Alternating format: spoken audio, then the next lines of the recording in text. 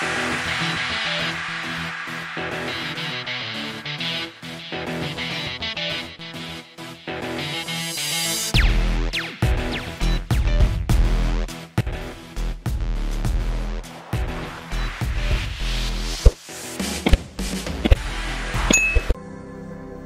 DRDO is developing two very important and lethal missile systems for Indian Air Force. These are Astra Mark II and Rudram 2 missiles. The reason why we are discussing particularly about these missiles is the recent update from Ministry of Defense during its annual report for the year 2022 and 23. To begin with, let's talk about the Astra Mark II missile. It is the second missile in Astra series of missiles being developed by DRDO. Astra Mark II is going to be massively boosting the Indian Air Force air superiority and beyond visual range air to air combat capability. While Astra Mark I is powered by a solid propellant rocket, the Mark II will feature double pulse solid motor propulsion system which will help the missile to attain the maximum range of more than 160 kilometers in head-on chase mode and 40 kilometers in tail chase mode. Now, if we talk about its development update, the maiden captive and launch drop trial of the missile was conducted in the year 2021 from Su-30 MKI. During the trial, ejection and retraction mechanism of the missile was tested for the very first time. The missile was launched using an ejector launcher.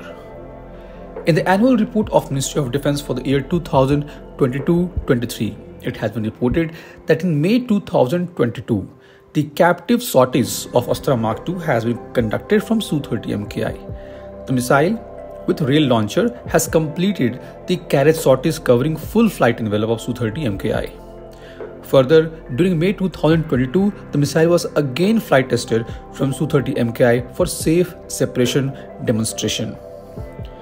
Now, as per the update from Vayu Aerospace Review, the hot trials of Astra missile are planned to be conducted by the end of year 2023. However, there has been no further update on this. But looking at development progress, it seems that DRDO is very close to the completion of Astra Mark II development and its hot trials have been either been conducted and not disclosed in public domain or will be conducted soon. The development of this missile will be crucial for Indian Air Force fleet of Su-30 MKI and LCA Tejas to establish the air superiority in beyond visual range combat. The next missile regarding which we are going to talk about is Rudram 2. DRDO is also developing a family of anti-radiation missiles ARM called Rudram, meaning remover of sorrows. These missiles are designed to detect, track, and neutralize the enemy's radio frequency sources, such as radars and communication assets that form a critical part of air defense systems. Rudram 1 or NGARM is the first missile in this series whose development is complete. The missile has maximum operational range of 200 kilometers and can carry warhead of 60 kilograms. Rudram 2 is second missile in DRDO's ARM family. It is a hypersonic aeroballistic air-to-ground missile. It has a solid rocket motor for propulsion with a range of 50 to 300 kilometers. The missile will have peak speed of 5.5 Mach that is hypersonic. The missile will have two variants for different role. These roles are ARM that is anti-radiation missile and ground attack. The Rudram 2's capabilities has been enhanced with the addition of an imaging infrared seeker with IIR and passive homing head PHH working in tandem enables the missile to easily attack enemy bunkers, air bases, arms and ammunition depot, aircraft hangars, etc., in addition to striking the radiation emitting targets. In the annual report of year 2022-23, the Ministry of Defense has reported that in June 2022, the release flight trials, that is RFT, of this missile was conducted from Su-30 MKI fighter jet.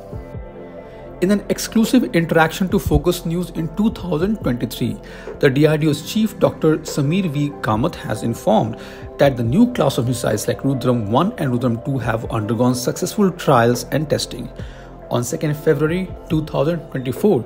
The Ministry of Defense has also released a video where we can see the test firing of Rudram 2 missile from Su-30 MKI. These developments are also indicating that the missile is in very advanced stage.